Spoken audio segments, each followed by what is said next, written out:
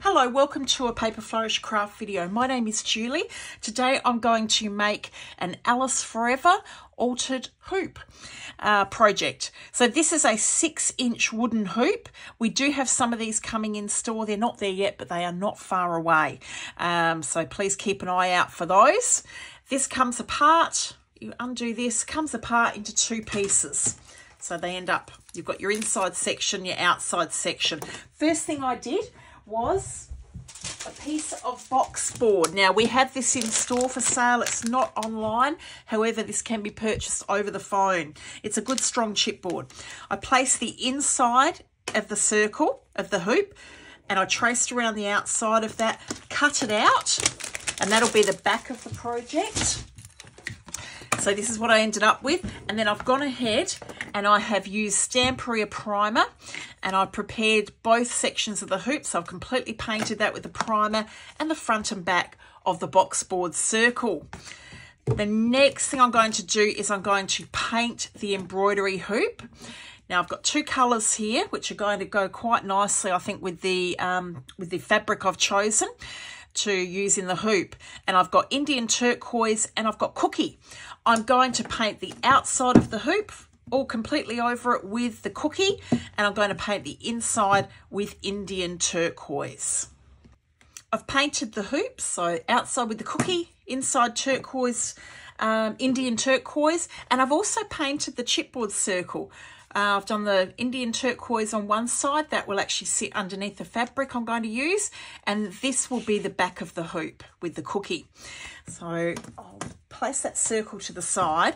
Now I've chosen a piece of the Alice Forever, the fabric, collect from the fabric collection. This is it here, you get four different pieces of fabric in the pack. Beautiful fabrics to work with. And I'm going to use the section from this bottom corner. To start with, I'm going to place the inside of the embroidery hoop down.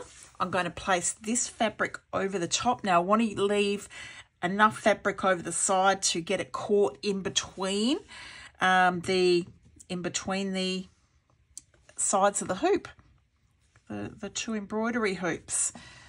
Okay, I think that looks pretty good. I can check this before I tighten up the hoop.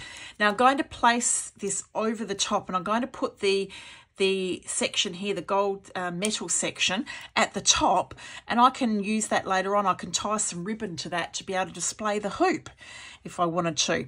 Uh, be, be careful too as you're working with the hoop and drying with the heat tool. This metal section gets really hot really fast. So please be aware of that. Um, always be careful that you don't then pick it up straight away, that metal section and burn your fingers. So I'm going to try and place this right at the with the metal at the top placing the fabric between that. Before I tighten it, I'm going to have a look at the other side the middle sections at the top. That looks pretty good. Okay, so what I'm going to do is tighten that up and then I'm going to trim away the fabric from the front. But so the fabric is caught between the two um, pieces of the hoop. If you find the fabric's not quite firm enough, what you can do is before you cut it, you can actually just pull that fabric out a little bit tighter. It'll still just be able to move enough for you to be able to do that. You want to make sure there's no wrinkles and you want a nice firm base there. So I've got the piece at the top. I think that looks pretty good. So I'm going to go ahead now and trim that fabric away from here. That's all trimmed away. It is a little bit rough around here. It doesn't matter. That's got to be covered later on. So the main thing is to trim off the excess of fabric there. I'm going to attach the uh, box board circle to the back of the hoop. So this becomes the back and it should go just onto that outside hoop area. Stamperia craft glue I'm going to place this all over the back and then I'm going to smooth it out with my finger and stick this onto the back of the embroidery hoop. Here we are, that's all smoothed out over the back. So now I'm going to turn this over, position it on the back and it sticks to the embroidery hoop but also to the fabric. That's all stuck down now. So I'm, next thing I'm going to do is mixed media glue. This is the Stamperia product. I'm going to do three coats of mixed media glue to not only the fabric, but I'm going to go the sides of the hoop and also on the top of the hoop. And I'm going to do three coats. So I'm going to dry in between each. So this is now completely dry with those three coats of mixed media glue. The inside of the hoop, if it's got a bit of glue on it, uh, don't panic. In a moment, I'm going to um, I'm going to just repaint the inside of that with the Indian turquoise paint. First though, I just wanted to show you, because we're going to start to add a decoration now to go on the top and it'll cover that rough edge of the fabric. Stamperia cream paste, this is a texture mould and this is the Our Way texture mould. So I'll put all the details of all the products in the description of the video. Now, if you haven't seen yet, there are videos and also on our Instagram, there are reels where I show you how to make these, uh, the cream paste in the mold, how to do it, explain it. It's also on YouTube, the Magic Journal um, Magic Forest journal cover that I did. The video starts with me making um, a texture mold with the cream paste. So please check those out if you're not sure um, how to go about that. The finished product, now this is only a small section of it, ends up looking like this. So once it comes out of the mold completely dry, it takes a couple of days in the mold to dry, but it comes out, it's flexible, you can colour it, you can cut it, you can do anything at all to it. So I said, this is only a section of it. It started off that big. I've just used the rest of it. So what I've done is I have cut strips. This is now a little bit messy. It's got some product on it, which are the same width of the hoop. Now I measured it and this was 3 eighths of an inch wide. So that's how wide I've done the strips. And here are the three here.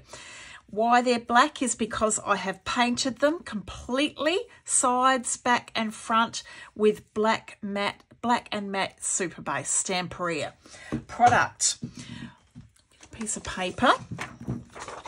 Next thing I'm going to do is paint these with, and I think I'm going to do it with, I love the finish of these vintage patinas, so I think I'm going to paint it with the turquoise one. So I'll just place that a little bit. I've got a paint palette to the side here, one of the Montmartre ones, which to place the fab, um, all of the products onto that I'm working from and I pick up a brush.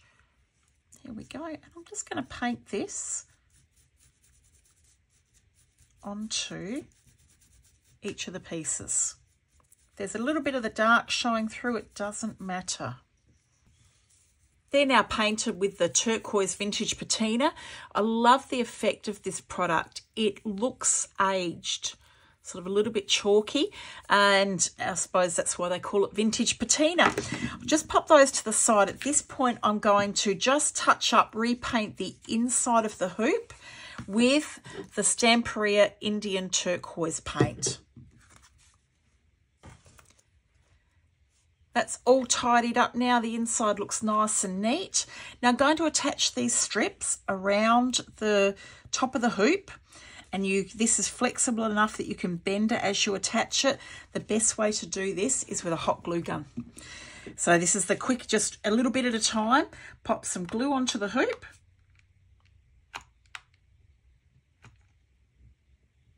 So just do section at a time because this does cool off pretty quick, this glue. And then I'm just going to start at the top and you start to attach it all the way around. Once you've once one strip you get to the end of it, just have the next one butting up against it.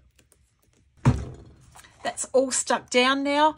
Uh, very quick to do with your hot um, glue gun. So if you love your mixed media, that is definitely a great purchase to make. Uh, very quick, sticks down and dries really fast. Doesn't that look interesting? Now, I know it's looking very blue at the moment. Don't worry, that will change. A little bit messy at the top where I joined it. Something will be over that shortly, so you won't even see that. Doesn't matter. Crackle Paste Gold Stamperia. I'm going to put some of this. Where's my palette knife? This is my metal spatula. I'm going to just pick up a little bit and I'm going to go around the sides on the cookie paint and just roughly pop some crackle paste all the way around and then dry that. crackle paste is now there. It's all dried. As I put it on, I didn't go too thick, but I roughed it up as I went. And as that dries even more, we'll end up getting even more crackles through that. It gives it that pretty cool rough edge to it. All right, now one thing I wanted to mention, when I was talking about cutting the texture paste, I can't remember if I told you how I cut it. I just did it with my guillotine. Your guillotine will slice through this beautifully. So that's how I did my strips um, to put on the front, just with my guillotine. It's time to add some feature, some um, highlights to this outside texture paste. I've actually grabbed some of the Prima waxes. Not sure which one I'll use, but I'm thinking I might try the white gold first. See how that looks.